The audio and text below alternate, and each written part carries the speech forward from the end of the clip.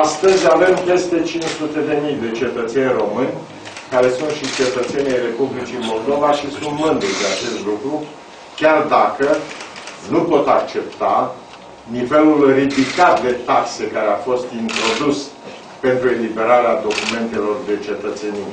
Peste 500 de euro. Este greu pentru un cetățean din Republica Moldova să strângă 500 de euro. De aceea cred că Guvernul României trebuie să gândească o soluție mult mai ieftină.